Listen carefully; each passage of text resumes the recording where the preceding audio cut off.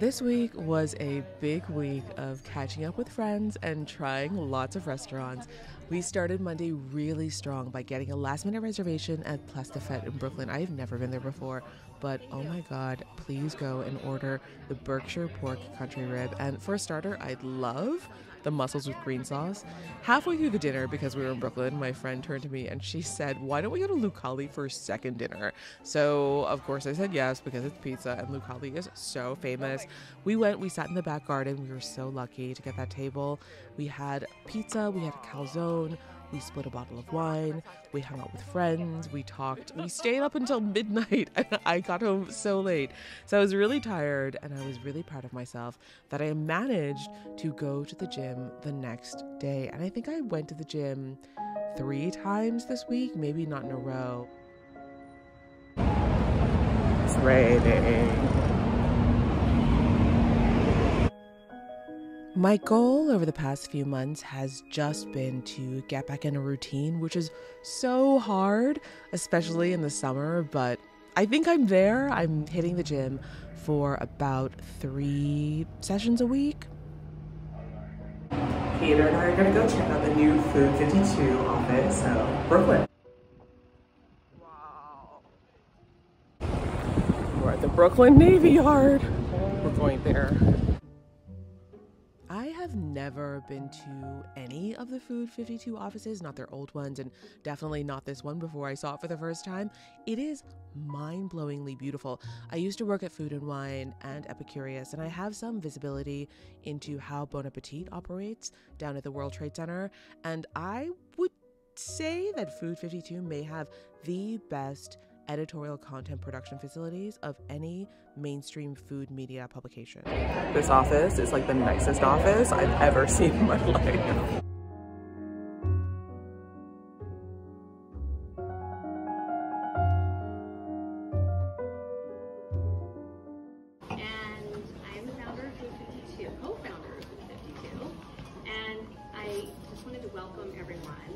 After that amazing tour, we headed back to the city and had dinner at Il Cantinori, one of my favorite Italian restaurants, and we called it a night.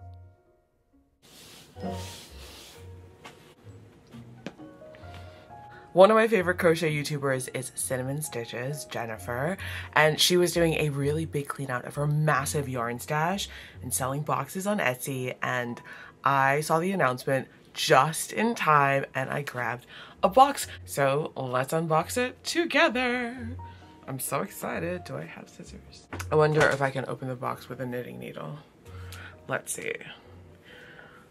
I think this is such a brilliant idea selling boxes of yarn that you can't use because you know anyone who does a craft knows that acquiring supplies is so hit or miss these days, especially because you have to buy so much stuff. This will be a lot easier with scissors. Hold on.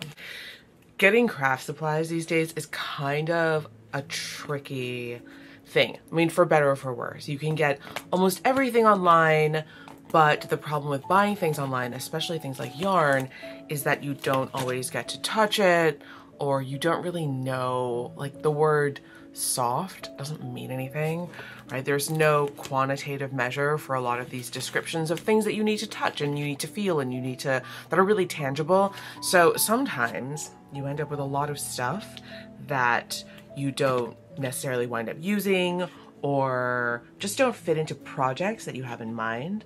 I have so much yarn and to be honest, I didn't really need to buy this box, but I'm such a huge fan of her channel and I think she has really good taste in yarn. Um, so I got a box. It wasn't that much. It was $40 and I've seen some people do unboxings online and I'm so excited to find out what's inside. So let's find out.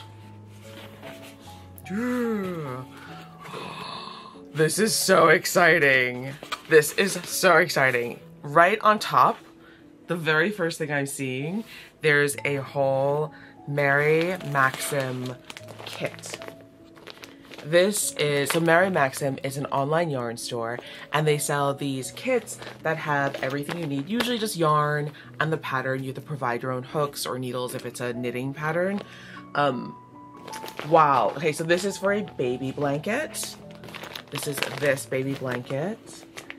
It comes with three skeins of Mary Maxim yarn. This is the Sugar Baby yarn in the colorway Jelly Bean. It's really cute. It's pink. I love multicolor pink yarn and I love this kind of yarn. If you can see that it's sort of twisted, I'm sure there's a name for it, but it's it looks like it's different color strands of yarn twisted together. So there's white, there's purple, there's pink. This is so cute. What else is in here? Oh, we have some cakes. I love cakes because you don't have to rewind them. So this is from Premier Yarns.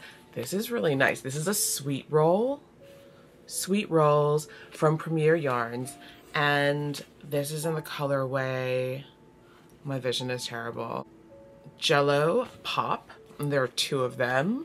I love the colorway. This is 100% acrylic. It is so soft. It almost feels like cotton. Like that's how soft this acrylic is. Not like yarn cotton, but like the softest cotton t-shirt. It feels like that. Then, well, this is exciting.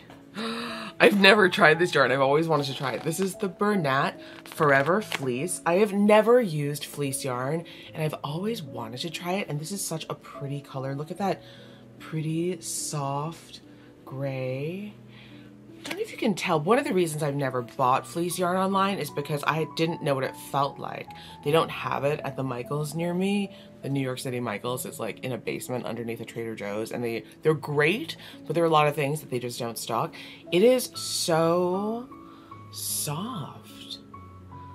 I'm trying to think what it feels like. It feels like the inside of an ultra soft fleece sweatshirt. It doesn't feel like fleece, like outerwear fleece, it feels like the inside of a very soft fleece sweatshirt. I love this. There are two skeins in here and they're massive. Each one of these has 194 yards. It seems a lot bigger, but maybe it's because it's super chunky. There are two. I'm so excited about this. This is the colorway tea tree. So it's sort of, you can see it's, it's, it's basically a very, very, very pale gray, but it's a sort of a green gray. That makes any sense. So it's not a slate gray, it's like a green gray. Here is another cake of the Jello Pop sweet roll. So now I have three. I love that she was so thoughtful and she put multiple skeins in case of the same colorway in each box so you can do a whole project with this. So you don't just have one skein or one cake and you can do like a tiny thing, but this you can actually make like, you can probably make like a vest or even a sweater or a kid sweater. And this is, oh, this is beautiful. Oh, I feel like I got so, oh, okay, I should stand up, I'm too lazy to stand up. I feel like I got so lucky. This is, look how beautiful that is. Purple and pink. This is the Premier Yarns Candy Shop. This is also 100% acrylic, but it's a different kind of finish. It's a little bit fuzzy, which is really nice. This is such a beautiful colorway. This colorway is called, this colorway is called Jolly Ranger. Again, it's that kind of windy yarn where it's two colors wound together. I love it so much. It is so soft and so perfect for autumn, which I know we're in the middle of summer, but fall is just around the corner. So thank you, Jennifer from Cinnamon Stitches for putting these boxes together. I'm so happy I got a box because I saw a lot of people wanted these boxes and they couldn't get their hands on them because they sold out so fast. I was very lucky that I saw your video right in time. Saturday night. Drinks, movie, dinner. We're gonna see Joy Ride. For drinks, we headed to Everything's Jake, which is a brand new bar diagonally across the street from the Union Square movie theater in New York City. It was so fun, but so empty. And then we headed over to see a sneak preview of Joy Ride. I have been so excited for this film, and I definitely think it'll be a huge hit with younger audiences. Afterwards, we hit up a Hawaiian restaurant that we've been meaning to go to called Noreetuh in the East Village. It was very like home cooking, really nice, like very cozy and surprisingly open very late. We had dinner at 9:30 at night. This morning, I met up with my sister for Sunday brunch and we went to one of my favorite restaurants, the Commerce Inn, which just started doing brunch on the weekends like two weeks ago. It was so good. I love all their vegetables. And I swear these pancakes have mochi in them. What do you think? check it out. See you next week. Bye.